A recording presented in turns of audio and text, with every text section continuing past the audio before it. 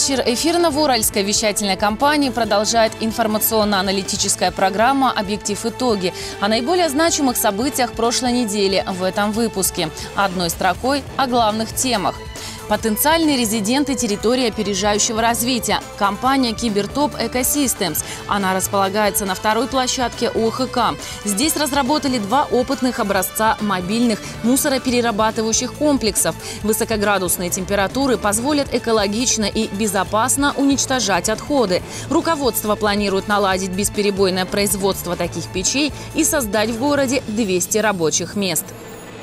Новоуральский политсовет партии «Единая Россия» утвердил дату и модель проведения предварительного голосования.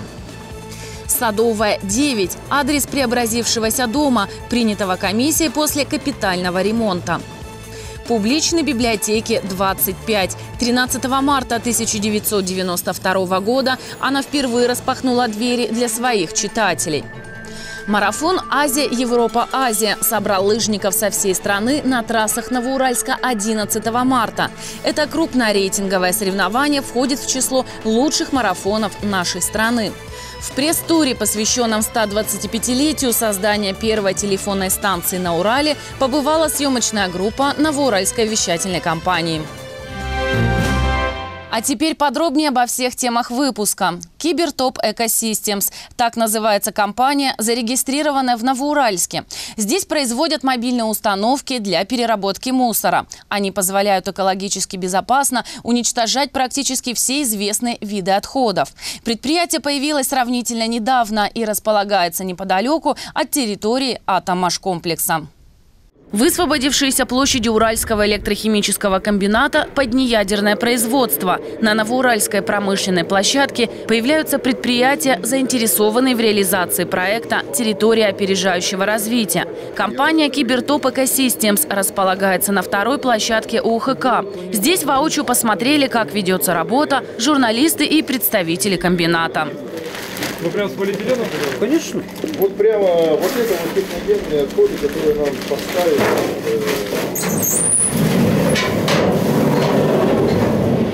Пока на предприятии изготовили два опытных образца мобильных мусороперерабатывающих комплекса. Тестовые испытания в ближайшее время состоятся на одном из полигонов Свердловской области и получат экологическое разрешение на эксплуатацию. Как говорят производители, рабочие высокоградусные температуры позволят экологически безопасно уничтожать практически все известные виды отходов. Большая печь КАИ-500, это 500 килограмм в час, то есть 12,5 тонн отходов мы можем уничтожать. В Новоуральске каждый день на полигон привозят 30 тонн отходов. Не будем пересчитывать на 365, это вы сами понимаете сколько.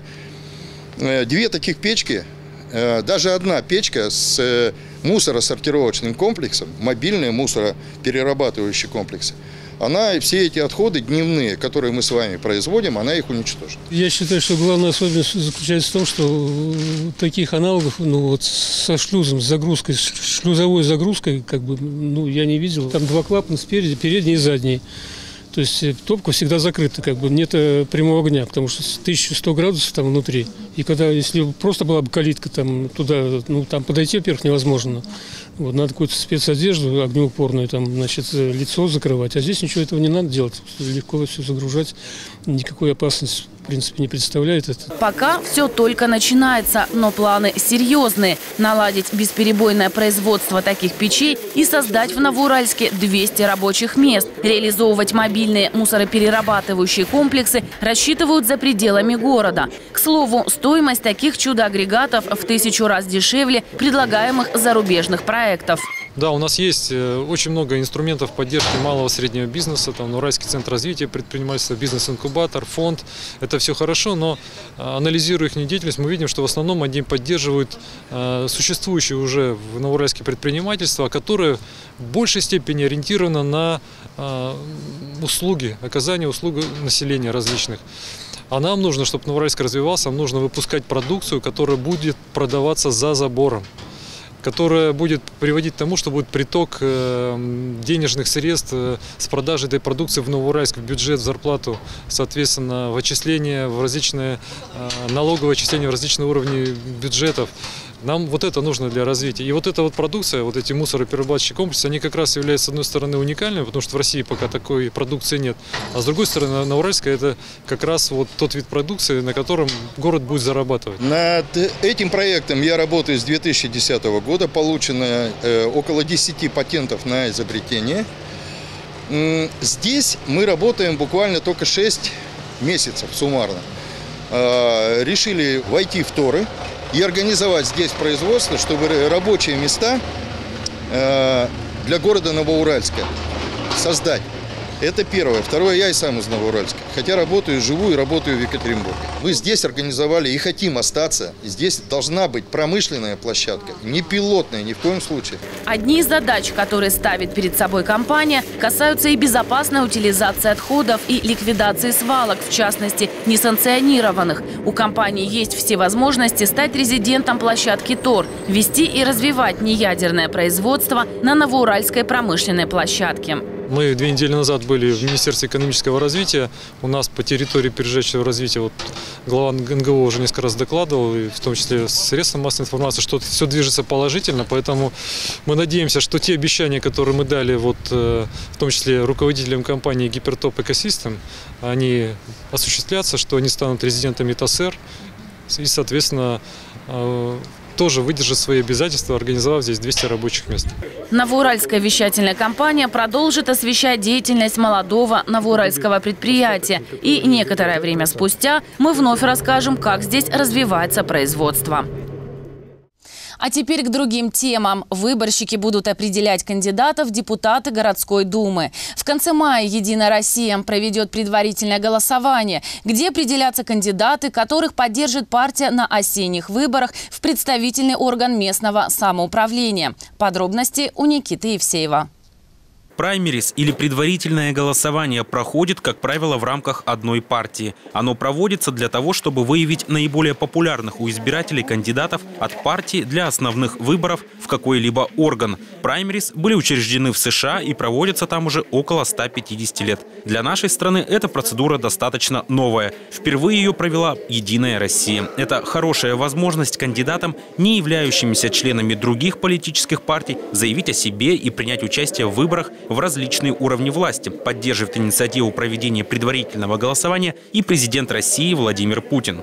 Вот это предварительное голосование э, нами внедряется как э, э, как инструмент решения сразу нескольких проблем, нескольких вопросов. Во-первых, это делает всю жизнь общественной организации, партии более прозрачной и приближает ее к людям. Функционеры партийные должны чувствовать, что в обществе происходит. И это очень важно. В ходе вот таких вот открытых обсуждений, споров, выявляются реальные проблемы, перед которыми людьми стоят. И э, идет дискуссия о том, как эти проблемы, эти задачи решить.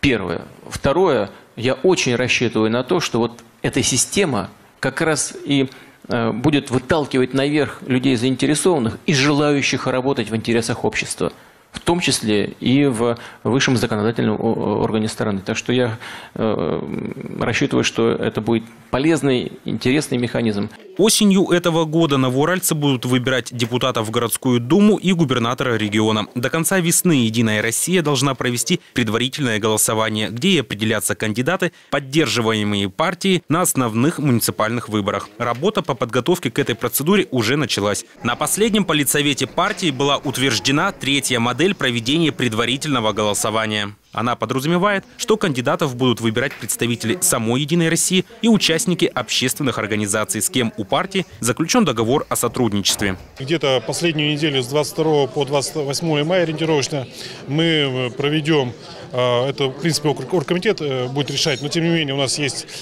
такое пожелание, что в течение двух дней мы проведем вот это предварительное голосование на базе, скажем так, одного из учреждений города.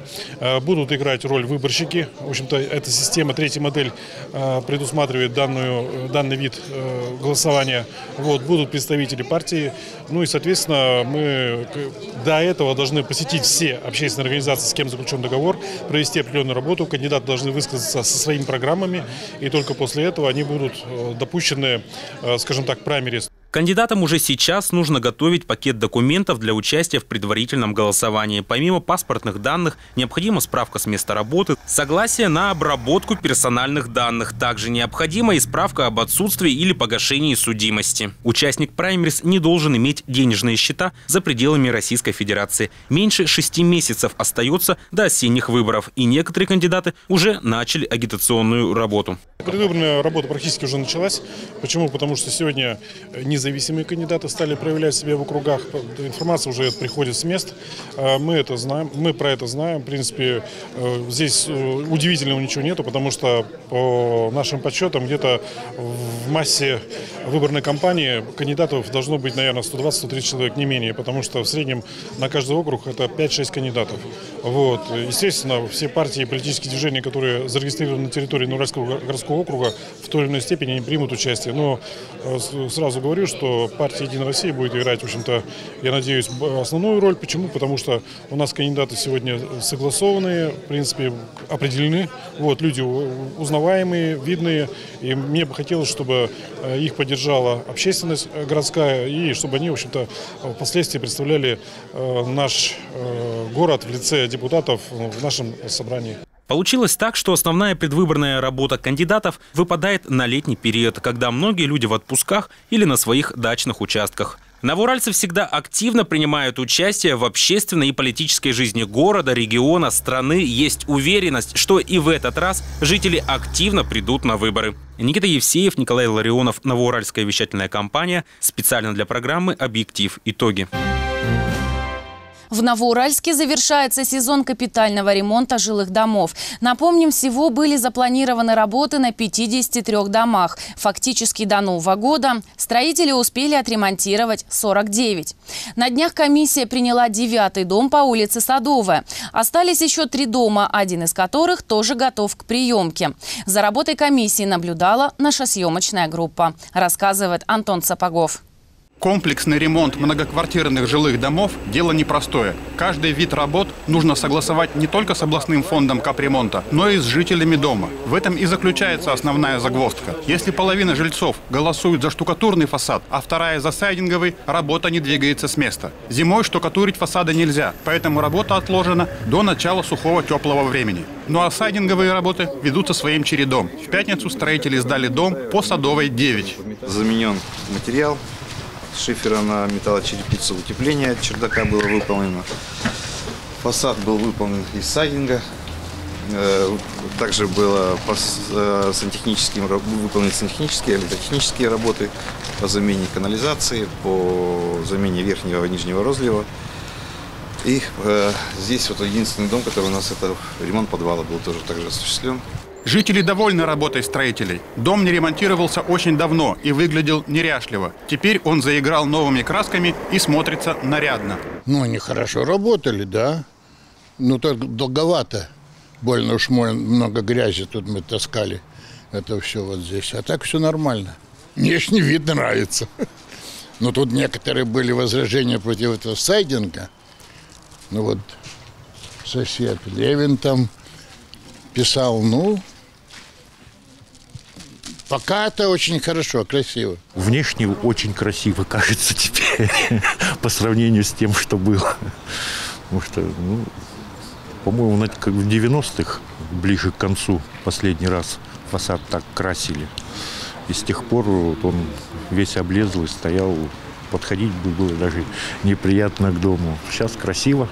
На очереди еще три дома, запланированные в ремонт прошлого года. Дом по Садовой начнут штукатурить не раньше майских праздников и должны закончить к 1 июня. Дом по улице Уральской не успели отремонтировать из-за частичного расселения жильцов, что отняло много времени. Там были насквозь прогнившие балки чердачного перекрытия. Пришлось их поменять. На третьем доме тоже возникли технические проблемы. Закончили 16 год э, за минусом 4 многоквартирных дома.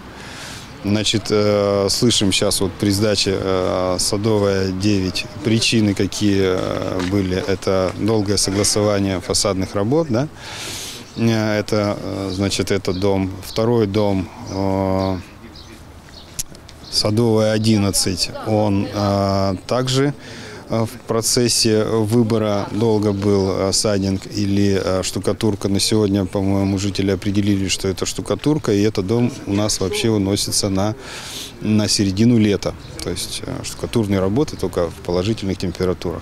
Также два дома по Уральской у нас затянулись из-за технических проблем. Уже готова сметная документация на капремонт текущего года. В планах ремонта домов поменьше, чем в прошлом году. Денег хватает на 34 дома. Но ремонт может затянуться, поскольку областной фонд содействия капремонту одобрил только штукатурные фасады. А эти работы длятся дольше. Наши власти намерены еще побороться за сайдинг, но пока это в процессе. Антон Сапогов, Дмитрий Дедюхин, Новоуральская вещательная компания.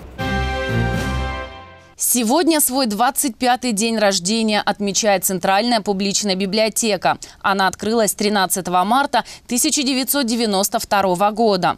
В настоящее время под руководством директора, стоявшего у истоков основания библиотеки Светланы Бартовой, трудится профессиональный сплоченный коллектив. Библиотека сегодня – это один из культурных центров Новоуральска. Здесь проходит много разноплановых мероприятий. Тут всегда рады каждому посетителю, ведь работа Работники библиотеки ежедневно отдают любимому делу частичку души и сердца. Продолжит Ольга Бертье. Новоуральская публичная библиотека за четверть века несколько раз меняла свое название. Но все 25 лет это учреждение культуры всегда было и остается сегодня одним из лучших друзей новоуральцев всех возрастов и социальных статусов. Ежегодно около 30 тысяч человек приходят в ее стены. 300 тысяч посещений в год. И каждый находит для себя что-то для души. Я желаю нашей библиотеке процветания, богатых фондов, активных читателей. С праздником! Новоуральская публичная библиотека сегодня – это культурно-просветительский центр. Больше четырех с половиной тысяч различных мероприятий, больше тысячи книжно-иллюстративных выставок и 60 творческих конкурсов и заочных викторин. И это только в прошлом году. И все же выдача литературы населению, хранение и пополнение фондов – это функция библиотеки наиглавнейшая и самая востребованная. Как бы ни казалось кому-то, что печатная книга – это уже вчерашний век, Сами печатные книги не только не исчезают, не иссякает интерес к ним даже у владельцев электронных читалок. Совсем другие ощущения, говорят. Я не, не читаю книги через компьютер. Шуршание страниц, что-то поддержать. Для меня вообще это даже запах типографской краски родной. Ольга Порфирьевна работает в библиотеках больше 30 лет. Более того, именно Ольга Ишимбаева формировала с нуля фонды публичной библиотеки Новоуральска, когда еще и здания не было.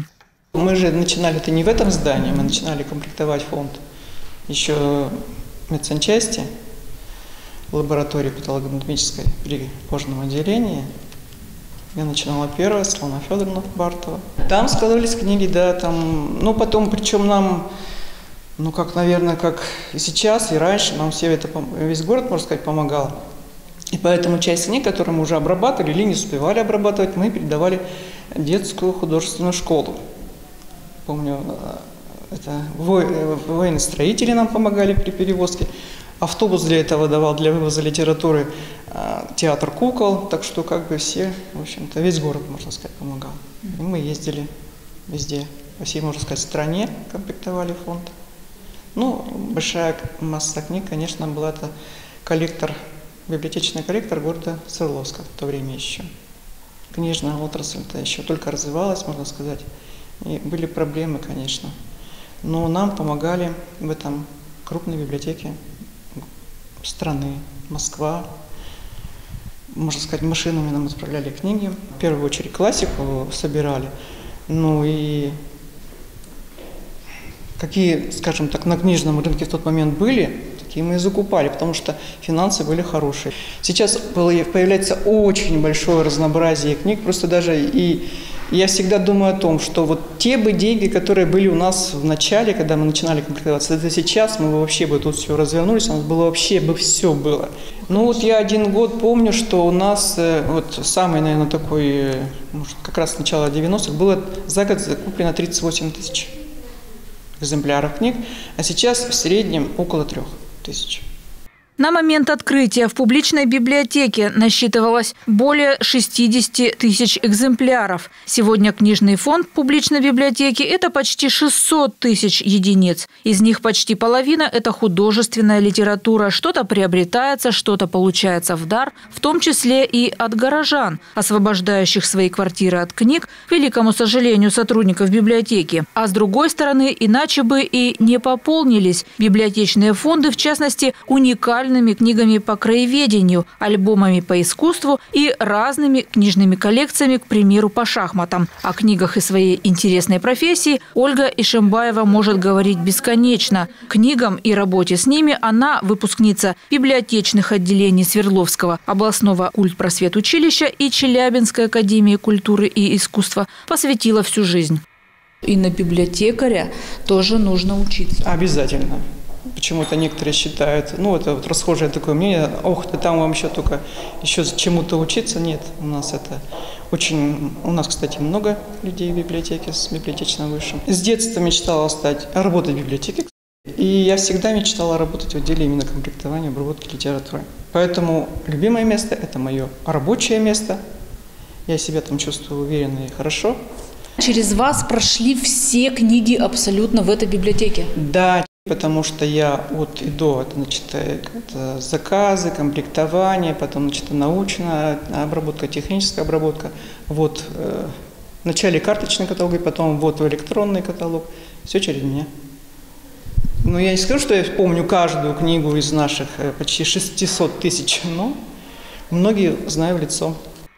Ольга Бертье, Иван Вахмяков, Новоуральская вещательная компания. Из второй части выпуска информационно-аналитической программы «Объектив итоги» узнаете. 400 миллионов минут – продолжительность, 500 тысяч абонентов на Среднем Урале, 400 миллионов разговоров по стационарным телефонам в Свердловской области за 2016 год. Первая экскурсия для средств массовой информации со всей области на главную АТС Урала. В числе приглашенных – съемочная группа НВК. Марафон «Азия-Европа-Азия» прошел в Новоуральске уже в 38 раз и собрал более 300 участников со всей страны. У новоуральских моржей клуба «Белый медведь» появился свой гимн. Слова и музыка главы округа Владимира Машкова. Детский сад «Надежда» частенько принимает гостей из разных городов страны, особенно москвичей. Недавно Новоуральский садик посетили координаторы проекта «Школа Росатома». Ведь именно это учреждение стало первым в России сетевым детским садом проекта. Подробности далее. Компания «Ростелеком» вновь пригласила новоуральскую вещательную компанию в пресс-тур. На этот раз он был посвящен 125-летию создания первой телефонной станции на Урале. Тогда обладателями телефонных номеров стали 100 жителей Екатеринбурга. Сейчас только за один год к телефонии подключаются 16 тысяч жителей региона. О том, как развивалась телефонная связь в Свердловской области, расскажет Альбина Бабкова. Домашний телефон – один из самых выгодных средств общения. Его доступность и экономичность делают стационарную телефонию выбором многих людей. А начиналось все 125 лет назад. 10 марта 1892 года начала работу первая телефонная станция на Среднем Урале. Вот это здание. Первыми ее абонентами стали городская больница, управа, пожарная часть и некоторые жители города. Всего 100 номеров. С тех пор связь развивалась стремительно. К примеру, за 2016 год абонентами стационарной стационарной связи стали 18 тысяч домохозяйств на Урале, а общая продолжительность разговоров за прошлый год составила 400 миллионов минут. Дополнительные виды услуг делают стационарную связь еще более привлекательной. Личный кабинет, да, он у нас реализован. Более того, он позволяет подтянуть различные услуги в один личный кабинет. Оплаты через, э, скажем, там, мобильные приложения или через мобильный банк тоже доступны, это все работает. У нас очень активно растет интерактивное телевидение. Прям фантастическими двузначными цифрами. А, как я уже говорил, в два раза по отношению к прошлому году у нас увеличилось количество подключений по телефонии. Но и э, подключение к интернету примерно вот последние несколько лет демонстрирует одни и те же показатели, то есть ровно мы потихонечку набираем абонентскую базу. После пресс-конференции в компании «Ростелеком» областных журналистов ждало интересное событие. Впервые для средств массовой информации была организована ознакомительная экскурсия на главную АТС Свердловской области. Первый пункт – часть телефонной станции, которая была сдана в эксплуатацию еще в 80-х годах прошлого столетия. Такие аналоговые участки были в разных уголках Свердловской области. Теперь они заменены на более современные цифровые. Этот участок – последний в своем роде. Скоро он превратится в музей. Такие телефонные трубки были, пожалуй, в каждой советской квартире. Это последний участок Свердловской области, где они еще остались. Здесь мы нашли канал для связи с нашим городом. В основном он используется для служебных целей. Один канал обслуживает сразу несколько, служебная связь сразу с несколькими пунктами сети. То есть мы транзитом проходим через эти стойки в нескольких городах, и при необходимости вызвать определенного человека, например, определенный город или несколько городов. То есть мы подаем определенную частоту, соответственно, у каждой на стойке стоит фильтр, который это все отслеживает и подает, выдает звуковой сигнал именно в том городе, с кем мы хотим связаться. Как минимум уже две стойки тут готовятся к выводу с той стороны. Конкретно с этой стороны стойки стоят, они используются для тестирования. То есть так или иначе наши потребители периодически требуют с нас э, предоставления каналов небольшой скорости. Ну, есть определенные виды у нас услуг. Соответственно, для того, чтобы их протестировать, проверить с потребителем, чтобы ну, то есть организовать полностью канал и проверить. Соответственно, используются вот эти вот генераторы. Вторая остановка – уже современная цифровая часть главной АТС нашего региона – Телекоммуникационные шкафы обеспечивают бесперебойную связь со всем миром. Видно, что модернизированное оборудование, установленное в 2006 году, занимает меньше места и более компактно. Работу цифровой АТС обеспечивает всего несколько человек. Здесь все автоматизировано и работает, по словам специалистов, без сбоев. Всего несколько десятков таких вот синих ящиков обеспечивают междугороднюю и международную связь свердловчан со всем миром. А это совершенно новое оборудование. Вместо нескольких десятков всего два шкафа. Новейшее оборудование, подключение к нему только началось и будет завершено к середине года. Всего два ящика обеспечат связь Свердловской области со всем миром. Все остальное будет уже не нужно и постепенно демонтировано. Экономия места, ресурсов и мощностей, но в то же время большая емкость и эффективность. А главное его отличие – возможность передачи пакетных услуг, то есть интернета, телевидения и сотовой связи через одну сеть. IP-сети, но специализированные для передачи голоса, данных, видео, то бишь э, в, одном, в одной сети передается любая информация вот. Это уже оборудование позволяет э, вот это делать. Старое этого не позволяло. Искротел, который представляет э, в России Искра Урал Тел с головным офисом в Екатеринбурге же, ну, имеет статус отечественного производителя. Стационарный телефон, несмотря на бурное развитие сотовой связи, продолжает оставаться востребованным. Главное преимущество – отсутствие так называемых глухих мест, как у мобильной связи, доступная цена и широкое развитие других телеком-услуг – интернета, интерактивного телевидения и той же самой сотовой связи. То есть пакетное предложение, когда за набор из трех-четырех услуг абонент получает существенную экономию в цене, а общение становится более доступным. Пожалуй, стационарная телефонная связь всеми нами знакомая такая привычная, будет востребована до тех пор, пока люди живут в домах и общаются с помощью голоса. На сегодняшний день это самый доступный вид общения, особенно для тех, кто говорит много. Альбина Бабкова, Антон Пылаев. Объектив. Итоги. Большое спортивное событие, которое объединило более трех сотен участников, прошло в субботу на лыжных трассах Новоуральска. 38-й лыжный марафон «Азия-Европа-Азия». Это крупное рейтинговое соревнование входит в число лучших марафонов нашей страны и привлекает сотни спортсменов из всех уголков России и даже зарубежных участников. На празднике спорта и здорового образа жизни побывала съемочная группа НВК. Наш лыжный марафон входит в международный рейтинг Russia Lopet из 18 крупнейших марафонов России. Это один из 10 самых престижных марафонов страны. Если спортсмен принял участие в каждом из них и показал хорошие результаты, а тем более занял призовые места, ему присваивают звание мастера спорта. Ежегодно в нашем марафоне принимают участие лыжники со всей России. В этот раз заявки подали больше 300 спортсменов. 152 на дистанцию 50 километров, 122 на 25 километров и больше 130 на дистанцию дистанцию 5 километров. Наш марафон пользуется большой популярностью в мире лыжного спорта. Отзывы очень хорошие, а тем более приезжие. Значит, на предыдущих соревнованиях, как на Андроновского, и, приезжали и наши жители города на лыжне России, то есть все отзывались, а, что трасса великолепная. Конечно, это кропотливая, тяжелая работа идет, да, э, собрать э, заявки на въезд, то есть заявки мы уже даже с прошлого года уже собираем, их надо скомплектовать, утвердить, согласовать. И вот э, сегодня коллапс даже на проходной, там до 80 человек скапливаются на проходной, и э, специалисты на проходной не успевают, просто не успевают э, проверять там списки. Ну, девочки наши тоже помогают всячески. Ну, надеемся, что все. Мы даже регистрацию продлили на 30 минут. С одной стороны, это наш традиционный вид спорта, и лыжи, и биатлон. И мы достигали очень высоких результатов.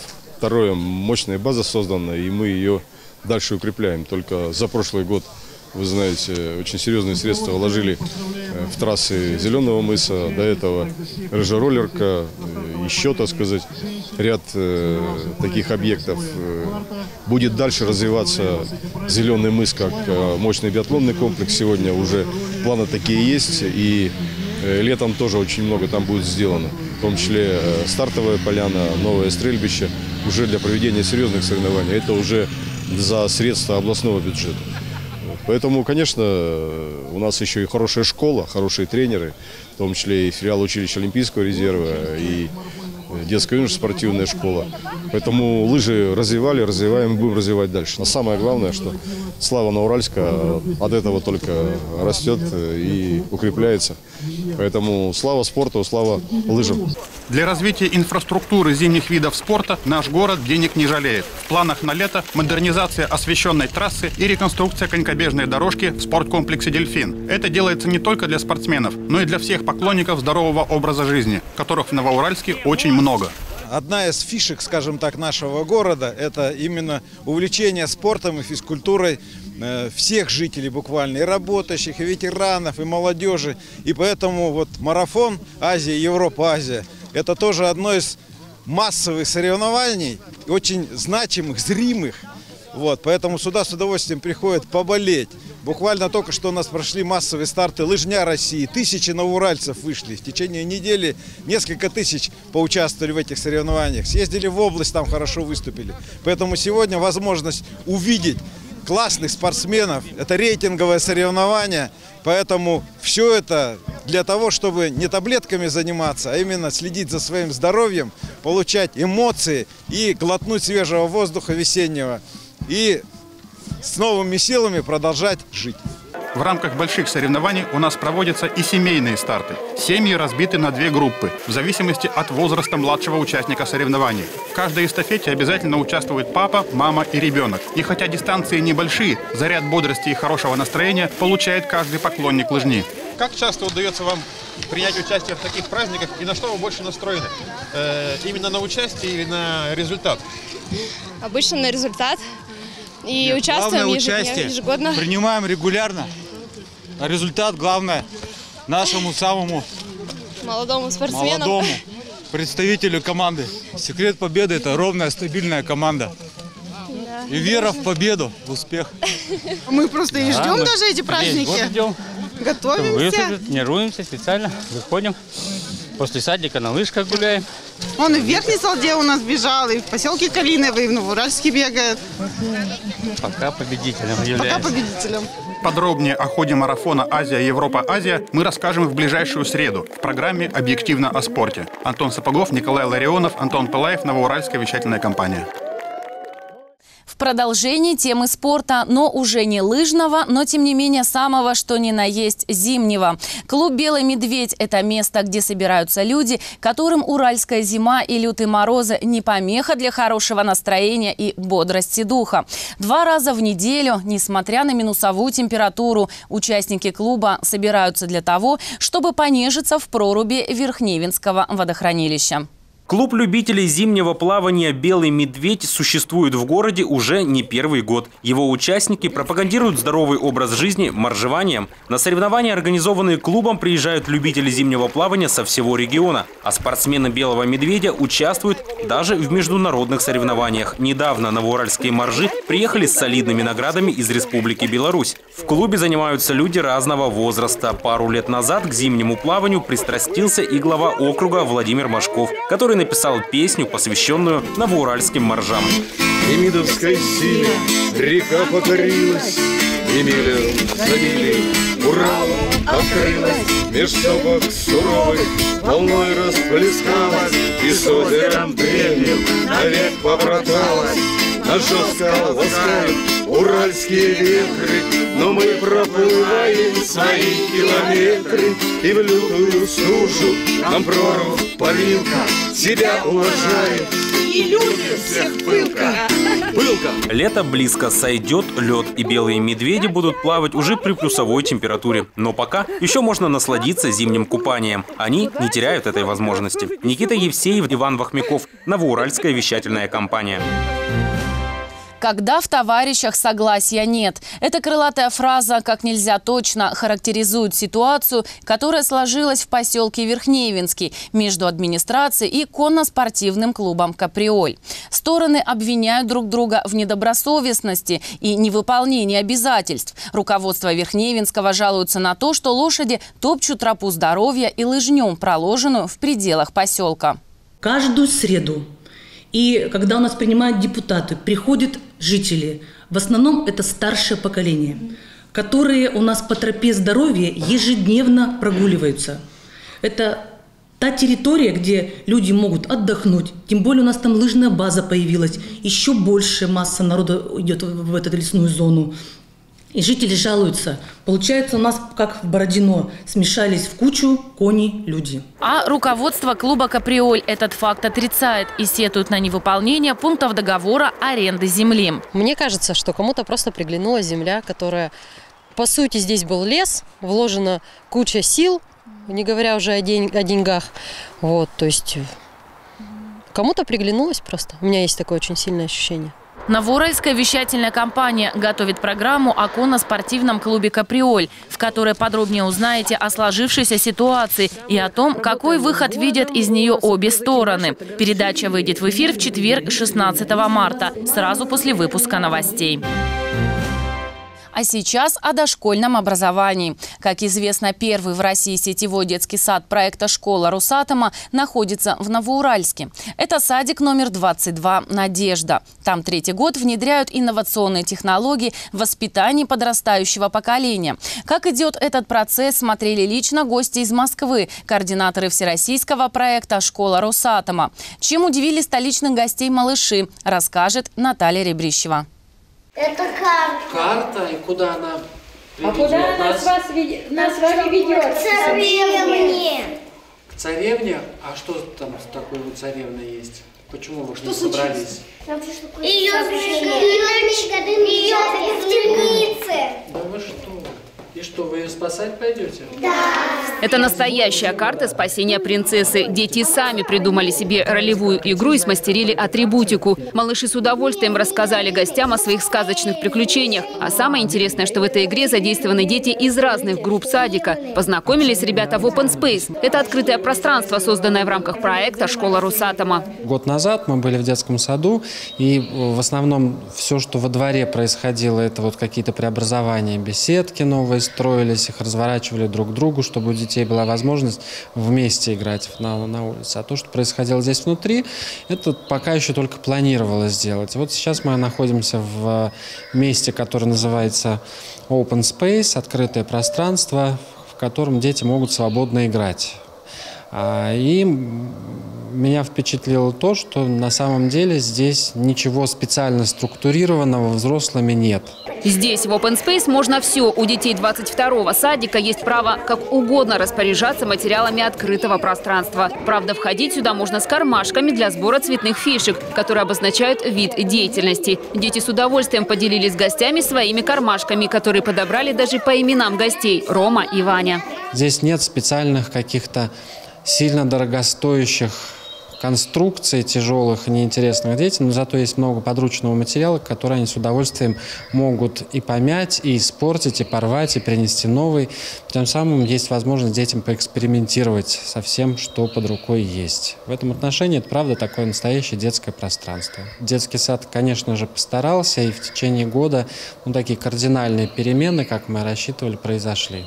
Координаторам проекта «Школа Русатома» очень понравился новоуральский Open Space и самостоятельные ролевые игры и игрушки. Настоящая прялка произвела особое впечатление на столичных гостей. Детский сад номер 22 «Надежда» частенько принимает гостей из разных уголков нашей страны. И на педагогические стажировки, и на открытие этого садика как первого сетевого в рамках всероссийского проекта. К примеру, как год назад на торжественном открытии были руководители госкорпорации «Русатом» и проекта «Школа Русатома». Теперь здесь ведутся проектно-сметные работы по расширению Open Space. Продолжение, да, расширение Open Space в стадии находится составление проектно-сметной документации, составление проектов, осмечивание.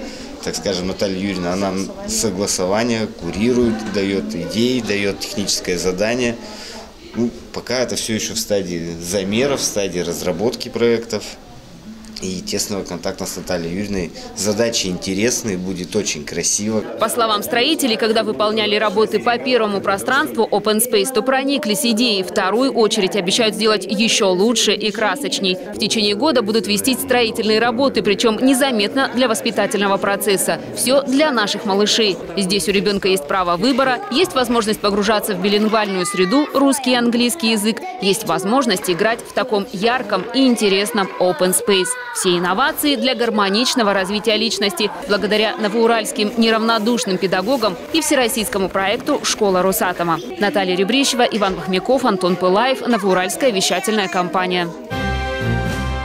А сейчас о том, что увидите завтра, 14 марта, в эфире Новоуральской вещательной компании. В 19.15 долгожданный телевизионный показ фильма Новоуральской вещательной компании «Дороги, которые мы прошли». Он посвящен 60-летию Дома культуры Уральского электрохимического комбината. Напомним, премьерный показ состоялся в январе в киноцентре Неева. А сейчас возможность посмотреть фильм о веховых страницах истории Дома культуры появилась и у телезрителей. Вы увидите уникальные кадры из наших архивов, интервью с теми, кто когда-то трудился на благо развития Дома культуры и продолжает это делать по сей день. Смотрите завтра, 14 марта в 19.15. В связи показом фильма сдвигается время выхода в эфир новостей. Так, передача «Объектив» начнется в 20.20, а сразу после – повтор программы «Объективно о спорте», посвященной Атемиаде 2017. На этом я с вами прощаюсь. Пусть начавшаяся неделя пройдет продуктивно и принесет только добрые вести. До свидания.